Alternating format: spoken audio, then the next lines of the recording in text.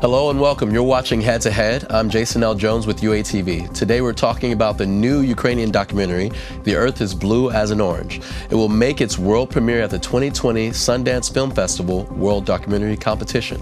There are only 12 films presented in the World Documentary Competition section, and it will be the first time a Ukrainian film director will take part in the official Sundance competition.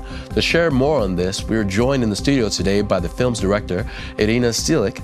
Hello, Iryna. Uh, it was great meeting you, and thank you for coming uh, and telling us about your film. So, uh, just real quick, can you give us an idea, like the sy- synopsis of your film, and you know what inspired you to do it?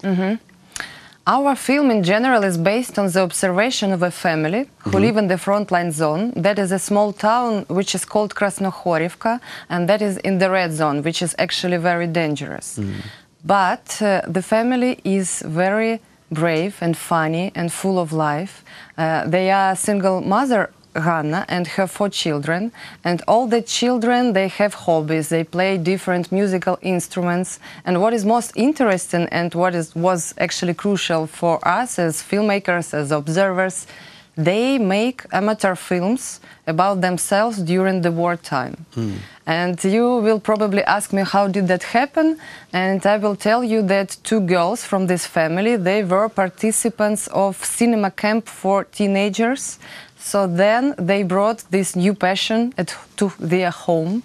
And you know, all the family, they became like, I don't know, family film production. Hmm. Because one of the girls, she dreams to become a film director. Okay. Another one wants to be a cinematographer. And the mother learned by herself editing process. Okay, that is some simple editing program, but anyway.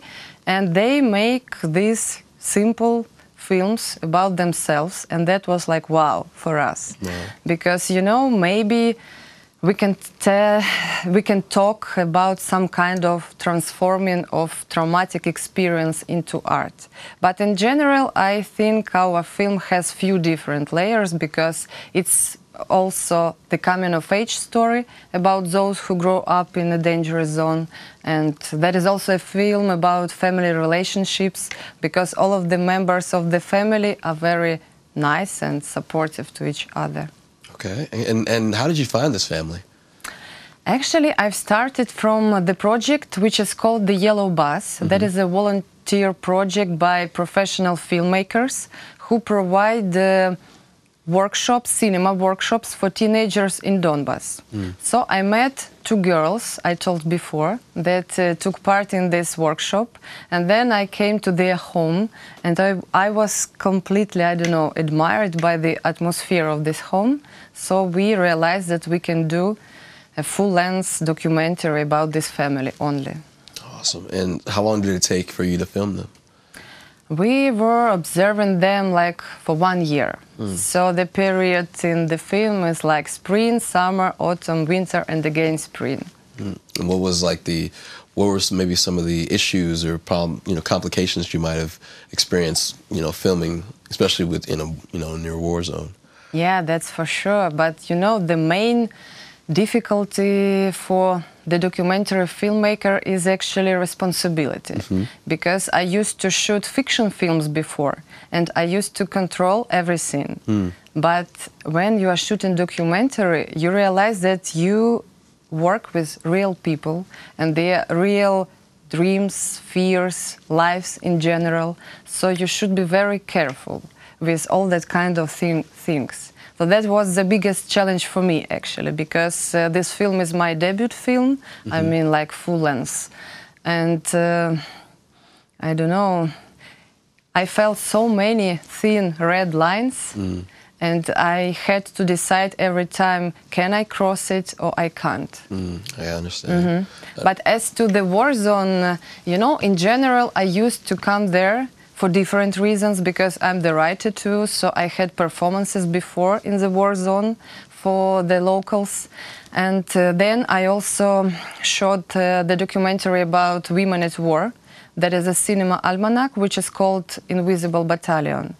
And that was the new experience when I met this family.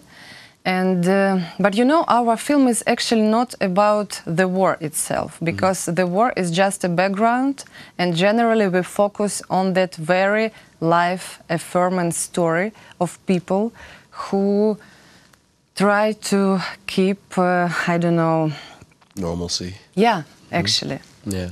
Okay. And um, you know, there have been other documentaries, you know, about the conflict in Donbass or just in the Donbass in, during this period.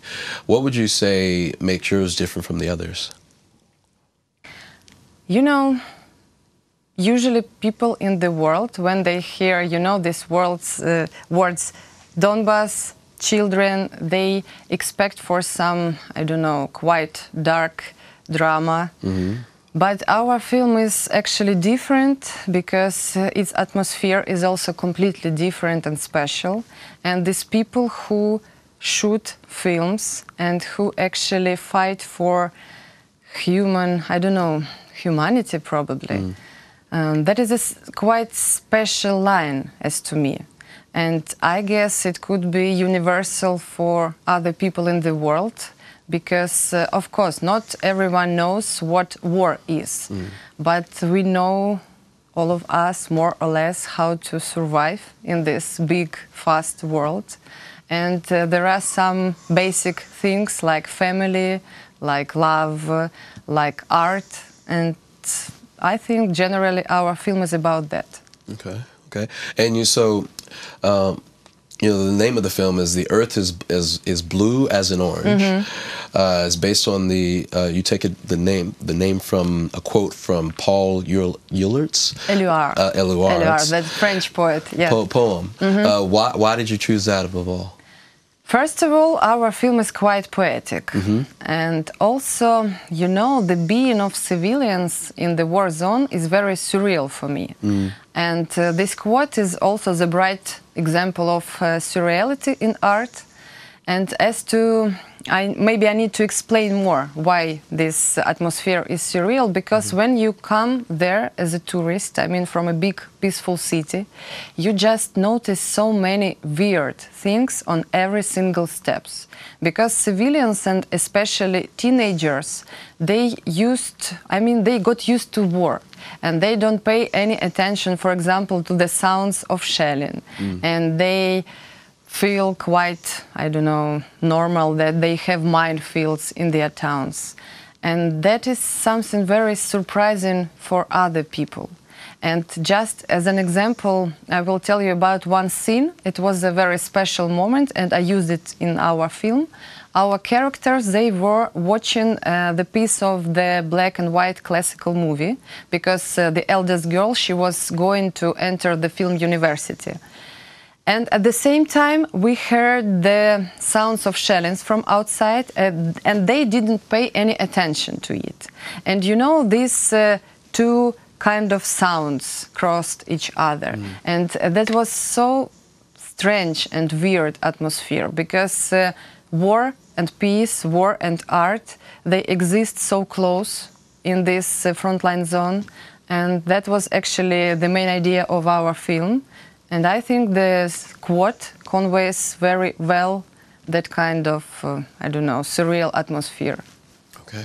Well, thank you so much, Adina. I wish we had more time to, uh, you know, delve more into the, the film and uh, the other things, you know, um, surrounding the subject matter and one of it. But I hope you do well at the at the Sundance, and hopefully we'll have you back again some other time for another film. Thank you so much. It's been a pleasure. It's been a pleasure. So that was Iryna Tsilyk, director of the new Ukrainian uh, documentary, The Earth is Blue as an Orange. Thank you for watching and stay tuned for our next head to head and much, much more on UATV.